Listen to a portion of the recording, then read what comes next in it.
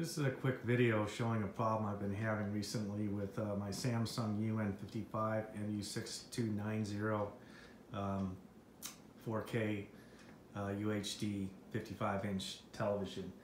Only had it for about three years and uh, I started noticing some discoloration in, uh, in the screen and it, it's, it's not anywhere to go away.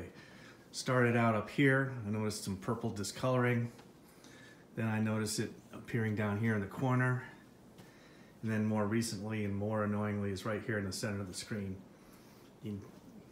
It's uh, just put on this screensaver so you can kind of see the discoloration uh, against a whitish background. Um, you can see it maybe a little bit better with the uh, uh, the e-manual showing up. Again, the top center, the middle, and the bottom left corner contact contacted Samsung and I contacted a uh, reputable television repair serviceman. They both said that it's not backlighting, it's not a control board, that it's a screen. The screen can't be obtained because it's out of service. So uh, I have to live with this or else I have to uh, get a new TV.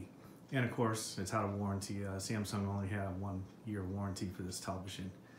It's too bad because otherwise it's great TV and everything works fine other than these color blotches.